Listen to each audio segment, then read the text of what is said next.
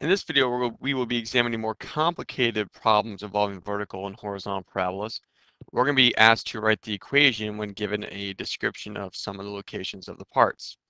In this first example, we are told we have a vertex for a parabola. We don't know if it's horizontal and we don't know if it's vertical at 0, 1 and a focus at 0, 4. So my advice is determine whether it's horizontal or vertical first. And I do that by just sketching a brief picture of what the graph would look like. So at 0, 1, I have my vertex. And at 0, 4, I have my focus. Well, this tells me that I am dealing with a vertical parabola. Now there are two ways you can go from here. One is using the formulas, the other is using the concepts. And I'm going to show you both in this technique. As always, I prefer to use the concepts rather than the formulas.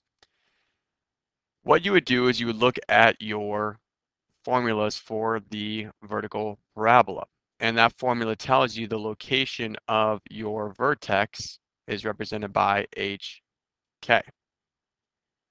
And it tells you the location of the focus is represented by h comma k plus 1 over 4a.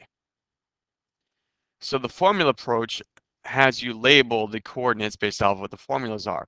What that allows you to do is to see that h is 0, k is 1, and now what you need to do is you need to find what your a value is. I'm dealing with a vertical parabola. So that means y equals a times the quantity x minus h squared plus k. So I know h, I know k, I need a. The way you find a is using the focus, the y value of the focus. You know 4 equals k plus 1 over 4a. Well, we know k is 1, so 4 equals 1 plus 1 over 4a. So we have 3 equals 1 over 4a. If we were to solve this, you multiply by 4a, so you get 12a equals 1. Divide by 12a is 1 12. So now I have all of my values. I can see that y equals, my a is 1 12 times the quantity. Now it's x minus 0 squared plus 1, but subtracting 0 doesn't do anything. So we can just ignore that and write y equals 1 12 x squared plus 1. This is the approach that is using the formulas. To me, it's easy to use the formulas to find your vertex, but to find the a value it's a little abstract, it's a little complicated. So what I do is I use the concepts.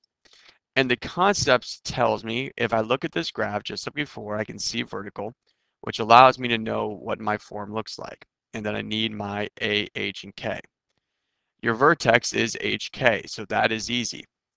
I use the concept to find my A value. The way I do that is by knowing the distance from the vertex to the focus is always 1 over 4a units. So then I can count 1, 2, 3. And I see 3 equals 1 over 4a. And you can see I jump right to this step in my equation. And I can get my a very quickly without having to deal with this k plus 1 over 4a and plugging things in for it. I can learn this concept that the distance from the vertex to the focus is 1 over 4a, count to get that number, and then solve to get my answer. So I'm going to try and use that concept approach in number two. It's a little bit different in number two. You have a focus at 2, 4 and a directrix at x equals 10. So again, just do a brief sketch just to help you determine is it a horizontal or a vertical parabola. So the focus is located at 2, 4. So that is my focus. The directrix is located x equals 10. So this is 2. We have 3, 4, 5, 6, 7, 8, 9, 10. And so here is my equation for my directrix. So looking at this, it tells me, well, if you always open towards your focus, it's a horizontal parabola.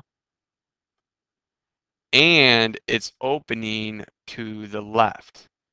So that tells me A is negative. So horizontal parabola standard form is x equals a times the quantity y minus k squared plus h. Well, we need our h and our k. So the question is, how does the vertex relate to the focus and the directrix? Well, if you think about it, you go 1 over 4a units to the left and 1 over 4 units to the right. So the vertex is the middle of the focus and the directrix. It's located in the middle. So what's the middle of 2 and 10? And that would be 6. So 2, 4, 6. There is my vertex. My vertex is the midpoint or the middle of the focus of the directrix. So this is the coordinate 6, 4. That gives me my h and my k. So I know right now x equals, I don't know a, but I know it's y minus 4 squared plus 6.